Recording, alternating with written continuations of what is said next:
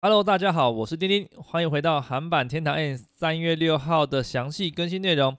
本次的更新里面虽然没有提到死神改版的消息，不过我相信再过不久，韩国官方就会发布对应的资讯啦。好，那我们今天来看一下韩版这次的更新重点。第一个就是开发者姓韩，其中第一个提到的就是改善所有几率群商品的显示方式，游戏里面有许多几率群的商品资讯。它会在旁边直接出现一个百分比的图案，你可以点击它查看里面所有的虚宝获得几率，它的细腻程度，就连欧林痕迹里面的技能刷新几率哦。信件里面提到第二个重点就是艾比诺盆地的大改版，里面新增的区域叫做硫磺地带，它这个地带是亚丁大陆目前最高规格的区域，怪物很强，经验值非常高。官方出这个地图的用意也是希望玩家的目标不要只放在九十级。而是可以往往九十级之后更高一个层级迈进。接下来我们讲到就是本次更新的第二个大重点——艾比诺盆地大翻新硫磺区域。这个地图是可以使用哈丁传送，花费十钻飞进来的。然后这次地图开放之后，也新增了四个高强度的收集品。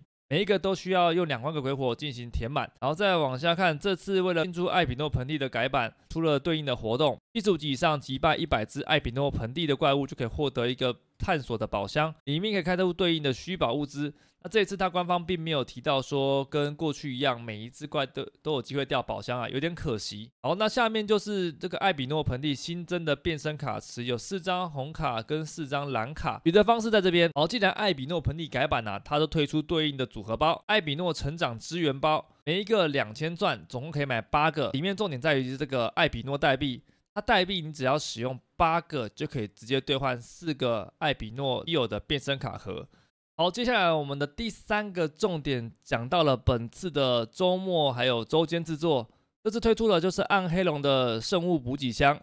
它需要使用二十二个袋子，就是一千五百钻群制作，一个账号可以做十二个。另外一个就是暗黑龙的特别礼包，它需要使用三十个袋子，一个账号可以做八个。圣物补给箱里面推出了三个神秘的圣物抽卡包，期间，所以这次终于把圣物的卡包推到下一个境界了。保底率圣物包终于出来了，未来保底的最高级圣物卡包也有可能会出现啊！我们再等一会儿吧。以上就是本次的韩版重点更新内容，我是丁丁，我们下次影片再见，大家拜拜。